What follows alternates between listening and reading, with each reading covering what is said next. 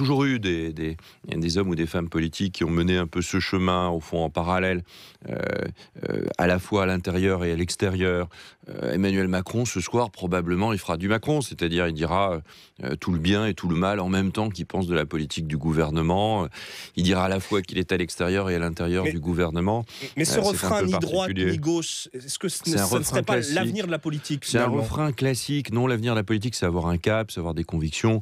C'est pas uniquement être tourné autour de sa propre pomme ou autour de sa, son propre nombril. Voilà, il faut. Euh, j'entends dire de temps en temps que euh, on fait de la politique différemment ou autrement. En réalité, c'est la même ambition, euh, voire plus importante. et puis, c'est la même volonté de prise de pouvoir. c'est le même, la même absence de parfois de, de propositions. Je pense que ça, il faut le combattre.